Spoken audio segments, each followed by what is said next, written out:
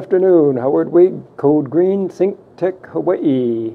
Gives me huge pleasure this afternoon to welcome to the table Nick Dizon, President, CEO, and everything else of Nidon Clean Energy. Nick and I go back longer than we either of us would uh, care to confess. Suffice to say that when it comes to clean technology, Nick is not just on the cutting edge, he is the proverbial tip of the spear. Today we're going to look at two of his new technologies, Simpliphi Energy and what's the other one? Suntrac. Suntrac. It's not just solar cooling, and it's gonna you're, you're gonna have your socks blown off by this. So welcome to the program. Thanks, Howard. Yeah. So let's uh, talk first about the Simpliphi batteries. Why are they called Simpliphi? And they are unlike any other battery on the market, I believe. Pretty much. The uh, the only comparison that comes close to them previously was the Aquion batteries, and Aquion filed for Chapter 11 about three weeks ago. The the difference being is there's a criteria that we look for in batteries. Number one is that there's not a penalty for 100% discharge, mm-hmm. and we mm-hmm. want a minimum of 3,000 plus cycles, because the only way for energy storage to have value is to pay for itself, and the only way it pays for itself mm-hmm. is if you discharge the battery heavily every day. Um, we're the only one of the few groups, maybe in the world, that's actually doing energy storage for both commercial and residential with a return on investment of five to seven years or less. Yeah. And let, let me clarify that a little bit. You batteries don't come cheap. So you've you've got to reap you got to get your money back. And in this case it would be day after day after day.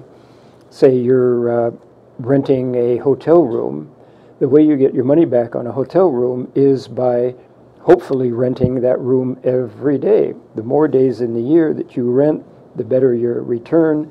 In this case, the more days that you can cycle all the way down, meaning you start off with at 100% energy and you get pretty darn close to zero, then, then that's one day, then you recharge, get down to zero. That's the way you get your return on investment. Correct. And the beauty of these batteries is that depending on the customer situation, every design is different. You can't look at five houses or five businesses and have the same hmm. design. Simplified batteries, the simplify means they're easy to use. And the way that they're easy to use is they have a high amperage draw capability per individual battery.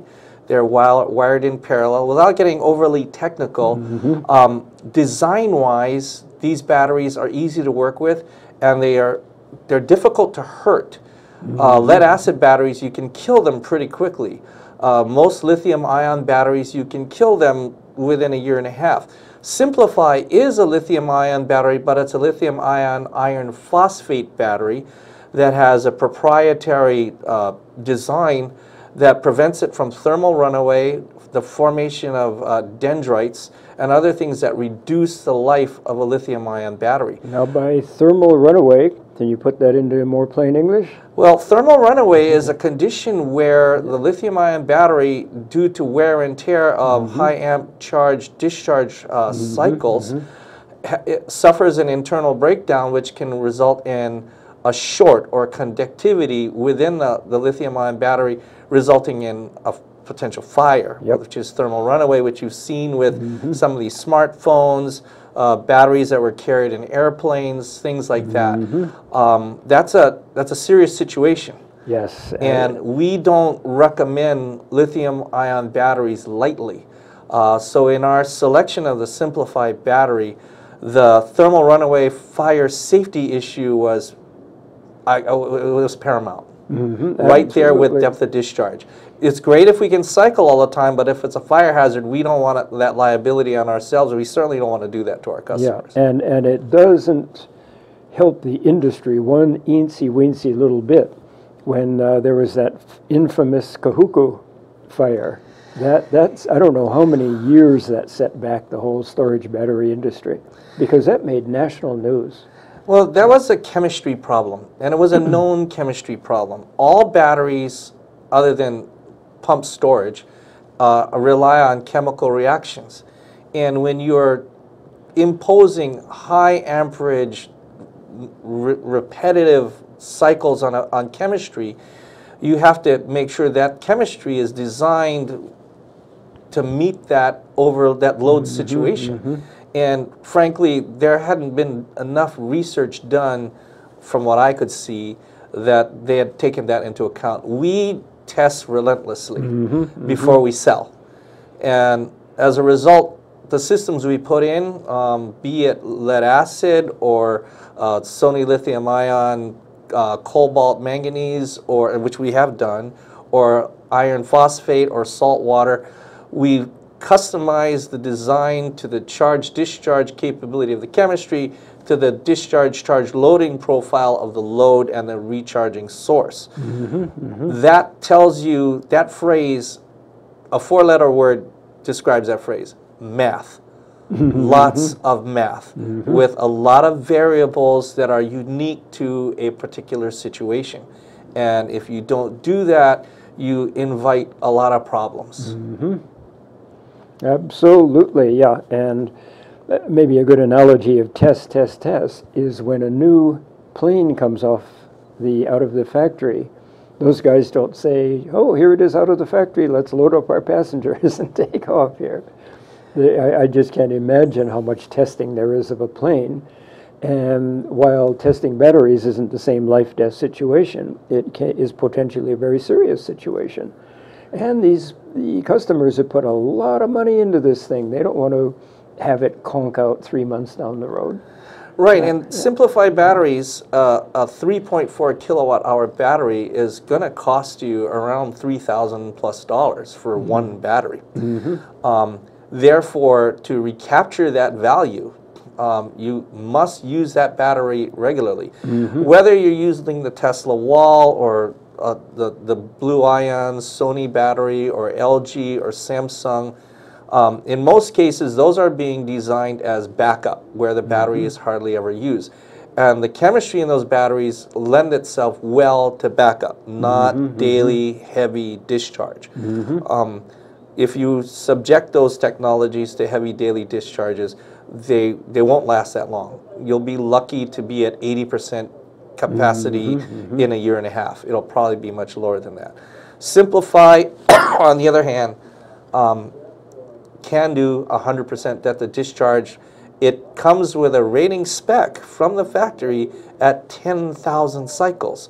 So a single cycle a day is over 27 years. Mm -hmm. um, that's crazy good. Yeah. For a lithium ion iron phosphate battery.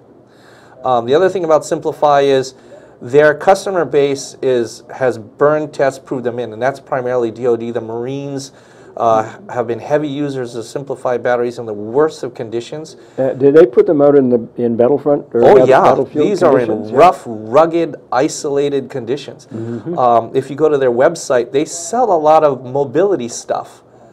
Mm -hmm. that you know for field construction sites and things like that. Of course, military units using it for whatever mission. It's a portable source of power that mm -hmm. um, is hard to beat. So mm -hmm. Simpliphi has a revenue base that was that's better than a lot of their competitors because they meet mil spec. They're yeah. out there on DoD jobs. Yeah, and you know, think, think of them on the front lines of Afghanistan, uh, Syria, whatever. Yeah, and that uh, brings up another point where in the early days of the Afghan war, they were still using oil as a power source.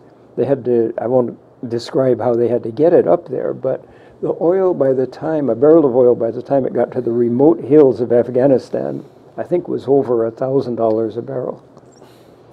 Well, when you're under fire too, your mm -hmm. convoys are under fire, and you got to pay all these guys big bucks to to drive those trucks. Mm -hmm, yeah, I, mm -hmm. I could see that would really, yeah, yeah. without even processing it, just transporting it was a problem. Mm-hmm. But Simpliphi has come up with a superior design. Um, their marketing strategy of getting getting it mil spec and into the DoD uh, means that they are now have a, a, strong revenue base that sustains them with which to begin uh, moving into the, the residential, commercial, private market. So you, you can scale all the way from residential, a single-family home, all the way up to what, what's an example of a large uh, customer? Well, you can do that with almost anybody's battery, but again, the math that's involved to design and make sure that what you're doing is going to work. And then when you go from residential, now we're not dealing with small motor inrush currents that are single phase. When we get up to commercial, we're dealing with 208 or 483 phase. Now, those batteries by themselves may not be the best solution. So, we're a little different in that we design uh, power electronics interfaces and controls where we may combine two or more storage technologies in the same power electronics.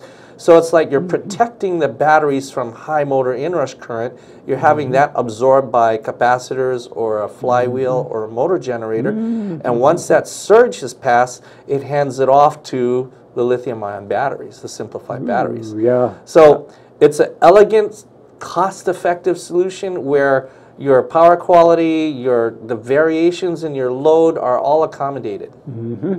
Uh, again, I, I like analogies here. It might be uh, a good analogy might be a, a really good front bumper system on a car, where if you hit something at say five miles an hour, if there weren't a good bumper there, boom, you're, you're going to have some pretty serious damage. But the bumper is designed such as to be a cushion and absorb that energy. And the same with the technologies you're talking about here, they absorb that inrush of current, and then the battery, once it's smoothed out, then the battery can take over. That's exactly what it is. It's a mm-hmm. shock absorber because when a, a three-phase motor starts up, even if it's under variable speed or variable frequency control, if you have enough of them cycling at the same time, or you, you could get this inrush current, which also makes that your demand charge rate higher with utilities, so you Yep, pay yep, yep. thousands of dollars more for mm-hmm. those. So the shock absorber takes care of that spike so the utility never mm-hmm. sees it. It never damages your equipment or your storage. It's all handled by the design of the power electronics of the batteries and the software. Mm-hmm. And we need to take a break very shortly, but when we come back, I want to get your perspective on the future of storage batteries in Hawaii because we have become a test bed in many ways, and the mainland looks to us. So let's uh, talk about that when we get back, and then we'll get into Suntrac. Take a break. This is Howard Wiig Code Green with the Honorable Nick Dizon. We will be back in a moment. Aloha and Happy New Year. It's 2017. Please keep up with me on Power Up Hawaii, where Hawaii comes together to talk about a clean and just energy future. Please join me on Tuesdays at 1 o'clock. Mahalo. Hey, Stan Energy Man here. Join me every Friday here at Think Tech Hawaii, where I bring up to speed on all things new and exciting in the world of energy in Hawaii, especially hydrogen, my favorite thing, hydrogen. I can always talk about hydrogen. You probably wonder what Stan the Energy Man does when his batteries are low and he's out of energy. That cabin you see in the background is where I go and run away to. That's on the Big Island up on in Hamakua, and I'm building a cabin up there so I can go up and just kind of commune with nature. And that's where I was this past weekend, listening to cows and pigs and pheasants and birds and turkeys and just collecting my energy. So if you want to look at some of your own energy, join me on Fridays with Stan the Energy Man here on Think Tech Hawaii on my lunch hour, and we'll fill your batteries up too. Aloha. Good afternoon again. Howard Wiig, Code Green, the Honorable Nick Dizon, and I are got, getting totally absorbed in batteries such that we didn't show the battery photos. So what is so what in the world is this here, Nick? Now, Yeah, this is a parallel array of eight simplified batteries. I believe these are the 2.4 kilowatt hour batteries going to a Sunny Island um, a battery inverter. So this is like a typical residential installation. And the nice thing about it is uh, these batteries are capable of up to 80 amps per battery. So that's four times 80 amps of That's, immediately uh, available DC power. yeah, So that's more than you need in a typical residence. Oh, yeah, yeah. Oh, yeah. Yeah. Same thing with this one here. It's a, it's a similar uh, setup. As you can see, it's set up in all-weather NEMA 3, and uh, it's outdoor. And then we got one more. Yeah, this is more of a commercial setup where you have, uh, looks like uh, three Outback 8,000 watt inverters in parallel. So this is more of a commercial. This may be a 208 or 483 phase solution. Those are the 3.4 kilowatt hour batteries back there. Um, again, very, you can see it's uh, very compact size-wise. Yeah, yeah. So the energy density, the amount of space you have to take up, it, this is a very friendly design. So, in my, just to look at the larger picture for a moment, I read all kinds of energy related materials, as you can imagine, and the words storage, storage, storage, smart grid, small grid, and in my mind, these grids that are largely offline or completely offline, they absolutely positively must be accompanied by batteries are an integral component of these smart grids. So, so how does that work in, in a real tight nutshell? Well, the, you're exactly correct. You have to have energy storage. Mm-hmm. But what's limiting widespread adoption of energy storage in both residential mm-hmm. commercial, not only in Hawaii but worldwide, is the ability to do the math to design. That mm-hmm. training, that education, which spans chemistry, physics, electrical energy, there are multiple disciplines involved to design mm-hmm. this. And there is no school that you can go to that mm-hmm. teaches that. Yeah. Um, we're, we have our own training program, so we're teaching mm-hmm. that, but it's not easy to learn. And that's why batteries have not taken off because we think of batteries as being as easy to use as in a flashlight. Well, in a home or a business, it's much more complex than that. Mm-hmm. And if you're interconnected with the utility, it's even more mm-hmm. complex. Mm-hmm. So that level of understanding is not widely out there yet. Yeah, I introduced you as being not just cutting edge, but the tip of the spear, and I think this is a, a perfect, perfect example of that. But we can expect batteries, batteries, batteries, batteries in the near term and in the longer term, and I think we can also expect a lot of uh, mishaps. You know, this type of battery does work, this one doesn't work, and some people are going to fold. Yeah, and, and I mean, it happened to Aquion, and, but I think it was more of a marketing problem. We explained to them over a year ago that if they didn't set up a training program, we called it the University of Aquion to teach people how to use their batteries, that that would be a problem. But that's true for Simpliphi, uh, Samsung, LG. Right now, um, Tesla is taking the bull by the horns by selling this, this complete system, um, which works, especially if it's only battery backup and you minimize the amount of discharge that it does. It will work, w- but it won't be cost effective yet. The only way to be cost effective is a ROI that's less than five to seven years. yep. Yep and on that cheery note, let's get to your next technology, Suntrac. And here are some guys on the roof. What in the world are these guys doing here? Well, uh, several years ago, this solar air conditioning, solar cooling th- uh, theory came about. And it actually does work. What you're doing is you're taking the refrigerant that's coming out of the compressor and you're heating Which it up. is, yeah, it's it's hot to begin with, isn't it? Right. Yeah, So okay. what you're doing is you're the, the the refrigerant coming from the compressor goes into a solar panel effectively, and the goal of that is to have the intelligence of the system realize at the condenser side that the the the heat and pressure coming in is such that it tells the compressor to slow down or mm-hmm. drop its mm-hmm. stages of Yeah, operation. be- because the sun is doing a lot of that work. Correct. So in the morning, you don't have the sun yet. The compressor mm-hmm. starts to work. It does it.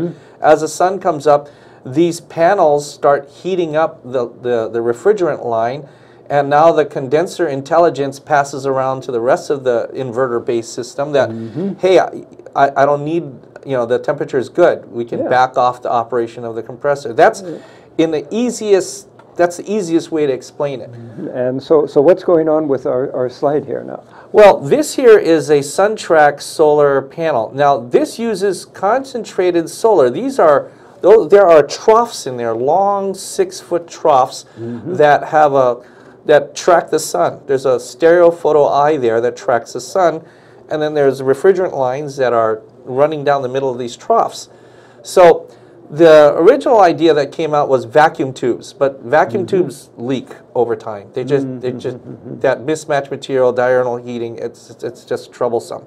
This, on the other hand, is very very simple. So are these individual, we see what, six panels here, do each individual panel track the sun? Correct. Wi- Within, within the, yeah. So we these are angled towards the south, and they are designed to track the sun. So usually uh, by around, if we turn the AC on at eight o'clock, by nine thirty, this thing's having an impact. So we're seeing up to a forty percent decrease of amperage go, going to the compressor. Forty percent? That's- That's uh, substantial because in many buildings and even in many centrally air-conditioned homes, the air conditioner is the prime energy user. The number one energy user in the state of Hawaii is air conditioning, Yeah. followed by refrigeration. Um, the thing about it is, a 32 square foot panel, which is what this is, Mm-hmm. is the equivalent of, of almost 250 square feet of PV. So, of course, it's also more efficient to do Mm-hmm, thermal to thermal versus electrical to thermal. So, there's a huge space savings on the roof.